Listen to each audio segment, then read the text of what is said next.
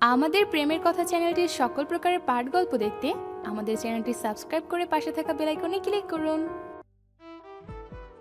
কালো মেঘের আড়ালে লুকানো অর্চমা মাঝে মাঝে উকি দিচ্ছে পৃথিবীর দিকে। দুপুর গড়িয়ে নেমেছে পাংশুটে বিকেল। সকাল থেকে যে মুখ কালো করেছে অম্বর, এখনও হাসি ফুটেনি তার মুখে। দেখে মনে হচ্ছে কাঁদতে চায় না সে। যখন তখন কেঁদে কেটে ভিজিয়ে দিতে পারে ব্যস্ত শহরীদের। কেউ কেউ এসব তোয়াক্কা করে চলছে আবার কেউ কেউ ছুটছে আপন ঘরে জলসিক্ত হওয়ার ভয়ে। আপন ঘরের পথ ধরেছে আড়ারও তবুও বোনদের জন্য আইসক্রিম আর তার মেঘবতীর জন্য ফুল ফুচকা নিতে ভোলেনি। বাসায় এসে কলিং চাপতেই দরজা খুলে দিল আঞ্জু। আর আর হাতের আইসক্রিম ও ফুচকার ব্যাগটা বোনের হাতে ধরিয়ে দিতে দিতে বলল আরও অনু বাসে এসেছে? হুম মাত্র আসলাম সবাই। তোর ভাবি অফিস থেকে এসেছে? মনে হয় এসেছে এখনও দেখিনি। আর আর আর কিছু না বলে উপরে পা বাড়ালো। রুমে গিয়ে দেখল তনি রুমে নেই। হাতের গুচ্ছ গোলাপগুলো খাটের উপর রেখে ব্লেজার খুলতে খুলতে গলা ছিঁড়ে তর্নিকে ডাকলো। তর্নি সারা না পেয়ে বারান্দা ওয়াশরুমের খোঁজে দেখল। তর্নি কোথাও নেই। আর আর চেঞ্জ করে এসে তর্নিকে কল করল। তর্নি ফোন ধরলো না। আর আর বাসার বাইরে গিয়ে রাস্তায় দাঁড়িয়ে থাকল। তর্নিকে অনেকবার নিষেধ করেছে জব না করতে। কিন্তু তরুণী শোনে না আড়ারের কথা। তার মা যতদিন দুনিয়াতে আছেন, সে জব করবে। কারও টাকাই তার মাকে চালাবে না। আরার বলেছে সে তরুণীর বাবা মায়ের দায়িত্ব নিবে। কিন্তু তরুণী আরারকে না বলে এতে নাকি তার আত্মসম্মানে আঘাত লাগে। কিছুক্ষণ দাঁড়িয়ে থেকে আরার সিদ্ধান্ত নিল তরুণীর অফিস চলে যাবে। তর্নিকে না দেখে দম বন্ধ হয়ে আসছে তার। আর আর গাড়িতে উঠবে তখনই তার মা বারান্দা থেকে তাকে ডাকতে লাগেন। বৃষ্টি শুরু হবে সে যেন কোথাও না যায়। আর আর নিচ থেকে গলা উঁচু করে বলল আম্মু মেঘবতীকে আনতে যাব। আমি যাচ্ছি আর আসছি। আরে পাগল! বৌমা অনেক আগেই বাসায় চলে এসেছে। বাসায় আয়। আর আর দৌড়ে বাসায় ভেতর গেল। তার তো মনেই নেই তর্নি ছাদের ঘরে থাকতে পারে। আর আর দৌড়ে সোজা ছাদের ঘরে চলে আসলো। তর্নি কোথাও নেই। চারিদিকে চোখ বুলিয়ে তর্নিকে ডাকছিল। তখনই একটা দেয়ালে চোখ আটকে গেল। দেয়ালের ঝুলানো চুমকোলাতার সাথে দুটো চিরকুট বাঁধা। আর আর চিরকুট দুটো হাতে নিয়ে খাটে বসল। একটা চিরকুটের উপর ওয়ান লেখা। আর একটাই টু। আর আর ওয়ান লেখা চিরকুটের ভাঁজটা আগে খুলল। সাদা কাগজে কালো কালিতে খুব সুন্দর করে লেখা। মাস্টার সাহেব, জানেন, দু ঘণ্টা থেকে বসে বসে শুধু সময় দেখছি, কবে আপনি আসবেন?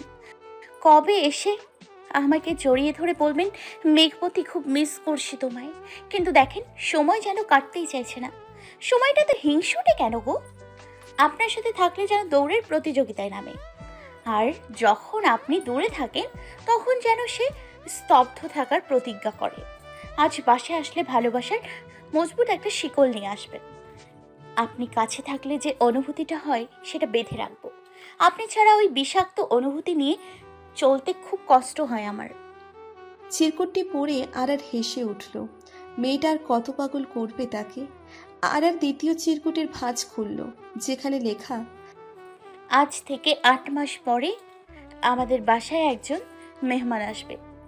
ওনার অনেক কেয়ার করতে হবে। ওনার যেন কোনো কিছুতেই কোনো অসুবিধা না হয়।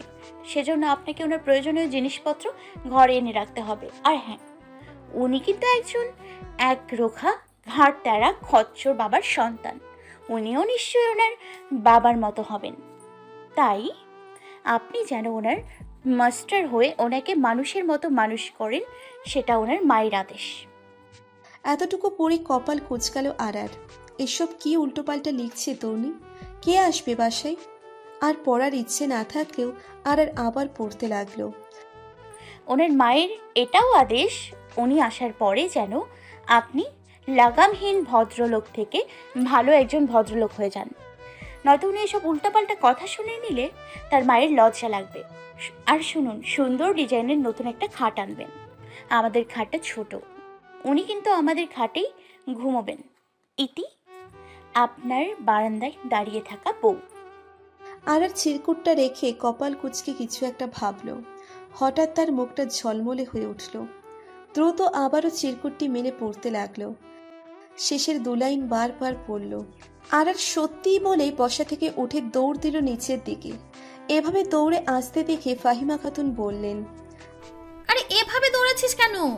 পড়ে যাবি তো। আর আর দৌড়ে রুমের দিকে যেতে বলল আম্মু, তুমি দাদি হচ্ছ।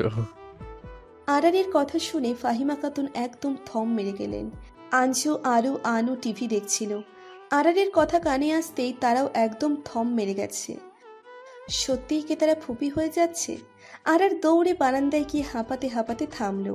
সাদা কালো মেঘের মতো একটা শাড়ি পরে আছে তর্ণী।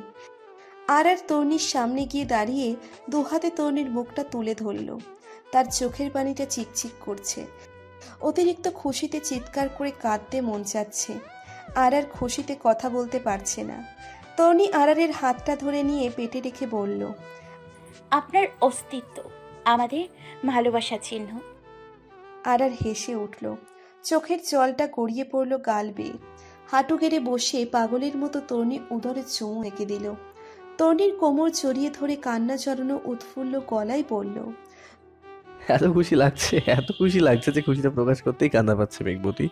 আমি বাবা হব, আমার আমার অস্তিত্ব আসবে। এই খুশি থেকে দ্বিতীয় খুশি বুঝে এই পৃথিবীতে দুটো নেই। আমি তোমাকে কীভাবে বোঝাবো? আমার এই সুখের অনুভূতিটা?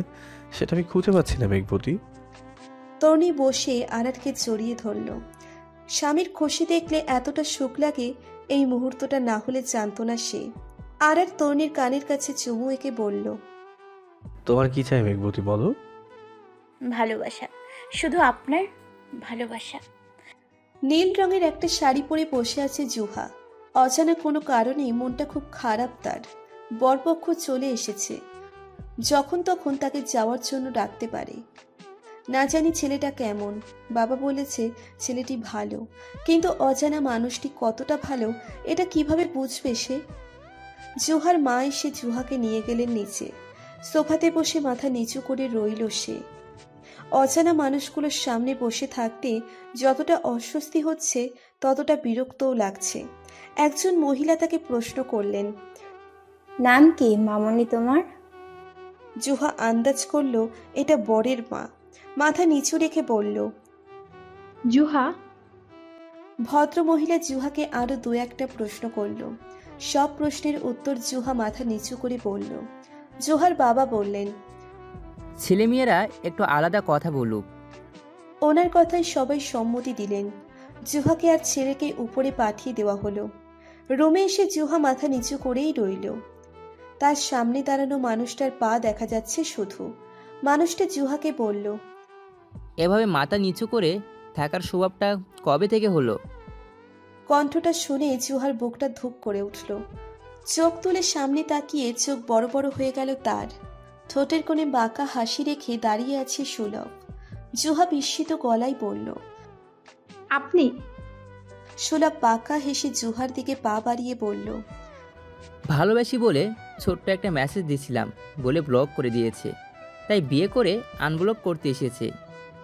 জুহা পিছোতে পিছোতে বলল আমি আপনাকে বিয়ে করব না। বলতে বলতে পড়ে যেতে লাগে। সুলভ খফ করে জুহার হাত ধরে বলল বিয়ে না করলেও সমস্যা নেই আমি তোমাকে বাসা থেকে কিডন্যাপ করে নিয়ে যাব। জুহা বড় বড় চোখ করে তাকালো। সুলভ টান দিয়ে জুহাকে সোজা করে দাঁড় করিয়ে বলল নিজেকেই সামলাতে পারো না সংসার সামলাবে কীভাবে? সেটা আপনার না জানলেও চলবে। আমার বইয়ের বিষয়ে না জানলেও চলবে।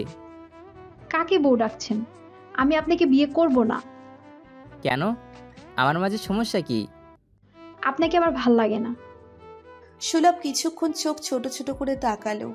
তারপর ফোন বের করে ক্যামেরা অন করে জুহাকে এক হাতের বেরিতে জড়িয়ে সেলফি তুলল। জুহা কিছু বুঝে ওঠার আগেই কাণ্ডটা ঘটিয়ে দেয় সুলভ। তারপর বাঁকা হেসে বলল আমাকে বিয়ে না করলে নিশ্চয় অন্য কাউকে করবে? তাকে দেখানোর জন্য এই ছবিটা নিলাম। আমার না হলে তোমাকে সুখে থাকতে দেওয়াটা কি বোকামি নয় বলো? বলেই রুম থেকে বেরিয়ে গেল সুলভ। জুহা একদম হা হয়ে গেল।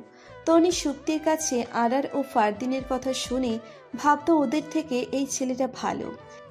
কিন্তু এও তো তার বন্ধুদের মতোই হয়ে গেল। হ্যালো বন্ধুরা, পরবর্তী পার্ট খুব তাড়াতাড়ি আসবে। তো সবাই অপেক্ষায় থাকো। আর চ্যানেলটি যারা এখনও সাবস্ক্রাইব করনি, তারা পরবর্তী পার্ট দেখার জন্য চ্যানেলটি সাবস্ক্রাইব করে রেখো। ধন্যবাদ সবাইকে। আমাদের সাথেই থেকো।